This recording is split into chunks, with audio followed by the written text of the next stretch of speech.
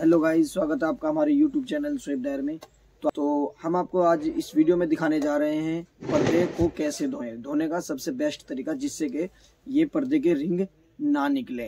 क्योंकि रिंग निकलते हैं कस्टमर्स कंप्लेन करते हैं तो हमने उन्हें बेस्ट तरीका बताया है और इस वीडियो के माध्यम से हम आपको भी ये बेस्ट तरीका बताने जा रहे हैं। तो चलिए देर न करते हुए हम आपको बताते हैं ये बेस्ट तरीका के पर्दे धोने से आपके रिंग नहीं निकलेंगे किस तरीके से? तो देखिए ये हम पहले इस तरीके से पर्दे एक जगह बाँध लेंगे किसी भी सुतली से। तो जब हम इनको बाँध लेंगे बांधने के बाद आप इसको मशीन में आसानी से धो सकते हैं। इससे आपके रिंग बिल्कुल भी नहीं निकलेंगे। तो ये ट्रिक आपको कैसी लगी पर्दे धोने की आप हमें ज़रूर बताएँ। और वीडियो आप किस प्रोडक्ट पर चाहते हैं आप ऑल इंडिया चाहते हैं वो भी हमें बताइए। हम उसी प्रोडक्ट पे आप वीडियो यूज़ करने की सारी जानकारी हम आपको देंगे। तो ये वीडियो कैसी लगी, आप हमें कमेंट बॉक्स में ज़रूर बताएँ। तो गाइज़ हमने आपको ये ट्रिक बताई है पर्दे धोने की, जिससे कि आपके ये रिंग नहीं निकलेंगे।